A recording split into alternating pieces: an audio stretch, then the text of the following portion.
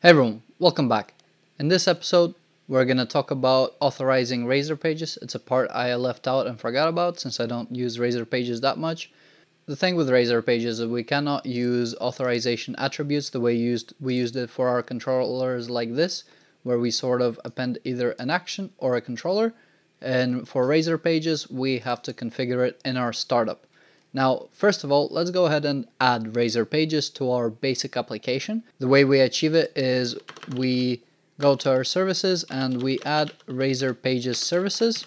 And then we want to basically make our routing aware of how to map the route to the Razor page that we're going to be using. So want to grab the endpoints and map Razor Pages. Okay, and this is essentially it for allowing you to use Razor pages. Now what we can do is we can create a folder called pages and this is where all the Razor pages will be stored. And I will create a Razor folder just as an example of where I'm going to store my initial pages. And obviously I'm going to try to spell Razor correctly this time. Razor slash, okay. So I have this razor folder. So essentially the route is going to be address slash razor slash whatever page I want to be on. Now, first thing I want to do is I want to add two pages. One is going to be sort of a home page, which I can just visit anonymously. Second one is going to be a secured page, right? So I'm just going to have a simple example of a page I can visit and a page that I want to authorize, right? So I'm going to press Control Shift A if you don't want to press Ctrl Shift A, you can right click, add a new item. Uh, don't click Razor page here. This is a scaffolding mechanism. You want to click on new item, grab the Razor page, not Razor view, and let's create index for now. And in here, I'm just going to say that this is an index page, and I'm going to say that there is no auth here. Okay, next thing, let's go ahead and add another page, and we'll call it secured. And for this secured page, I'm just going to go ahead and say that this is a secured page. And there is auth, but it's kind of in the name, right? So the way that we configure authorization is to, when we add Razor pages, we also want to add Razor page options. And in here, we specify a configuration. And this configuration essentially holds a property called conventions and this is where all authorization configuration is going to be defined. To secure a secured page, let's go ahead and call the authorize page function and the parameter that we want to pass to it is slash razor slash secured. If you're catching on what this is, this is essentially a route starting from the page uh, pages folder as your root. So slash razor slash secured and now this is an authorized page, right? So let's go ahead and launch the application and make sure that the page is indeed authorized. Okay, so here we are. Let's go on to Razor index. So this is the index page, there is no auth.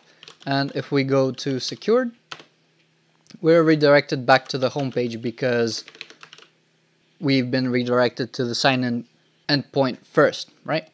So now that we're signed in, let's go and back to the secured endpoint and now we can reach the secured endpoint once we are authenticated, right? Since we're not providing any policies, this is the only condition that we need to be eh, to meet is to be authenticated in, in order to be authorized to visit this page. All right, so speaking about policies, how can we secure a page based on a policy? Let's go ahead add another page and we'll call it policy right? We learned so much about policies and now we basically want to apply it to Razor pages as well, right? So let's call this policy page. Uh, here we essentially want to do the same thing. Let's go ahead and secure policy, but now as a second parameter, we want to provide a string of a policy that we want to secure it with. We have an admin policy set up right here. So let's go ahead and add this here.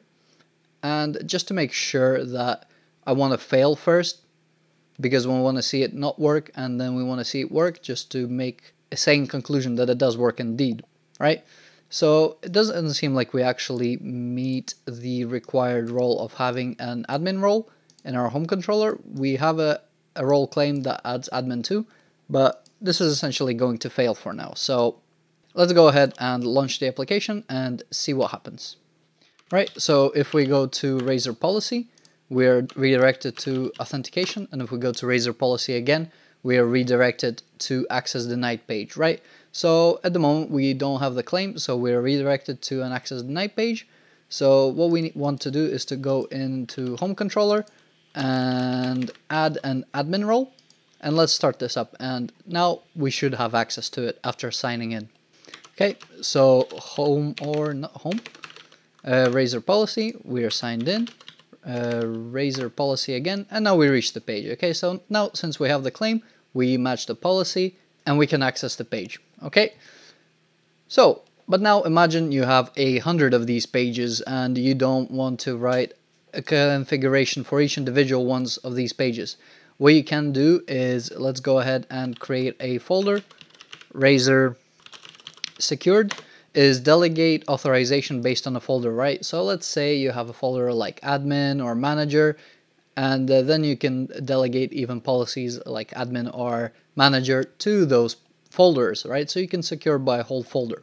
And in here, let's go ahead actually add a few pages. So again, an index page. So let's say secured index. And I also want to add an anonymous page, right? Uh, which will essentially be something that we will allow to enter even though it's inside an authorized folder, right? So anon page. But for now, we'll keep it as needed authorized, right? So I will close these two pages and all we want to do is in our config, go to conventions again, authorize folder, and now we just specify our folder here. Okay, so now both of these pages inside the folder are secured. Let's go ahead and check it. Okay, so slash razor secured index first. We are redirected to the sign-in. So now if we go to razor secured index, we can reach the secured index page. And if we go to anon, we can visit the anon page. And if I open my developer tools and clear the cookies, if I refresh, I should be redirected back to the home page and have my cookie again because it re-signed me in again, right? And if I refresh, I got my cookie, I'm on the home page. So both of the pages are authorized based on the folder location that they're in. Now let's go ahead and override the authorization that this folder has on the anonymous page, right? So we basically, we want to allow anonymous people onto this anon page, right? So config, again convention, and allow anonymous to page. And now again, same thing as before, razor secured slash anon. We just specified the path to that page. And this is essentially how you do all the configuration, right? So let's launch this one last time and try to visit this page without signing in. And technically, we should be able to without being redirected to the home page, right? So index anon and there we go, right? So we didn't have to sign in. We just visited the page, even though it's in a secured folder, because we have specified that anonymous are allowed to visit. This is essentially it for this uh, configuration or how to do authorization with Razor pages. Uh, remember that if you want a policy, you just add it as another string parameter. And that's pretty much it for this episode. Thanks for watching. If you enjoyed it, leave a like, subscribe. If you have any questions, leave them in the comments section. Don't forget to join the Discord server, the link is in the description, and hopefully I'll see you around.